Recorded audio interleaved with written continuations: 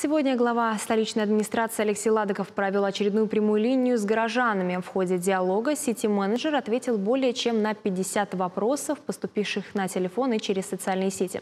Были затронуты темы благоустройства, ремонта дорог, работа ливневой канализации. Подробности в сюжете Елены Михайловой. У меня такой вопрос. Я инвалид, колясочница.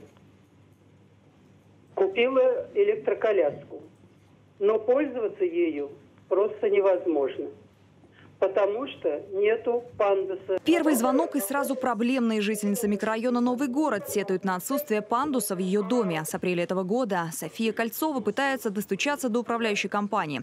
Но там разводят руками. Причина в нехватке средств. По словам пенсионерки, имеющаяся железная конструкция не подлежит эксплуатации.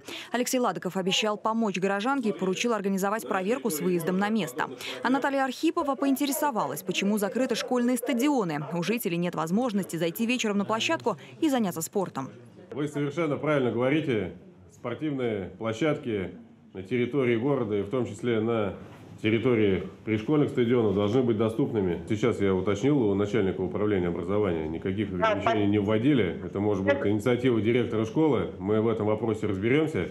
После звонка будет проведена проверка, и все стадионы должны быть открыты, констатировал сити-менеджер. Несколько вопросов касались работы ливневок в городе. Сильные дожди подтапливают и размывают дороги. Также активные горожане интересовались строительством школ, благоустройством дворов. Житель Новоюжного района Борис Агаев обратил внимание на отсутствие территории для выгула собак и предложил решение. На пустыре возле школы номер 40 есть свободная площадка. Алексей Ладыков тут же связался с главой администрации Калининского района. Встретимся на месте управляющая компания пригласит, где они хотят, а этот вопрос обсудим выходом на место. Смотрите, если в соответствии с требованиями, стандартами, нормами размещение этого забора возможно на территории, я прошу помочь.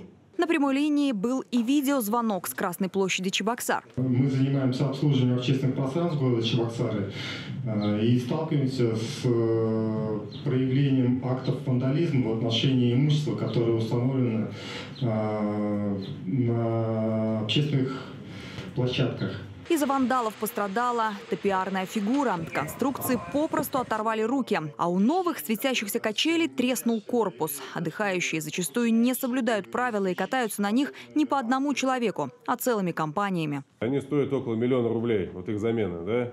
Во-первых, этих денег нет. Во-вторых, нужно их для того, чтобы этот вопрос решить, нужно заложить бюджет, заказать, установить. Это длительное время. Поэтому то имущество, которое мы установили, нужно беречь. И с уважением относиться к труду тех людей, которые реализовал эти проекты на территории города. Всего за два часа Алексей Ладоков получил 202 вопроса, 30 звонков и 10 видеообращений. Все они взяты в обработку администрации. Общение с жителями в таком формате будет продолжено и впредь. Елена Михайлова, Виктор Степанов, Святослав Петров. Вести Чувашия.